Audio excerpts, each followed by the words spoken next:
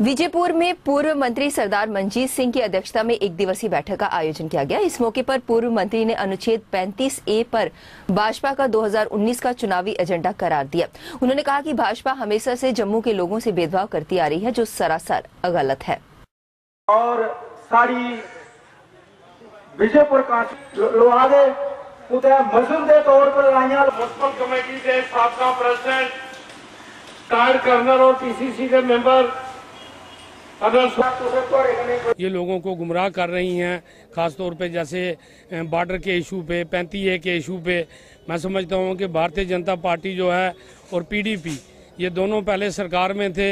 एक तरफ़ से ये पैंती ए तोड़ने की बात करते हैं। दूसरी तरफ़ से सरकार में करोड़ों रुपए दे के वहाँ बीजेपी ने वकील खड़े किए कि पैंती ए नहीं टूटनी चाहिए। तो ये लोगों में भ्रम पैदा कर रहे हैं लोगों को एक्सप्लाइट करने की कोशिश कर रहे हैं।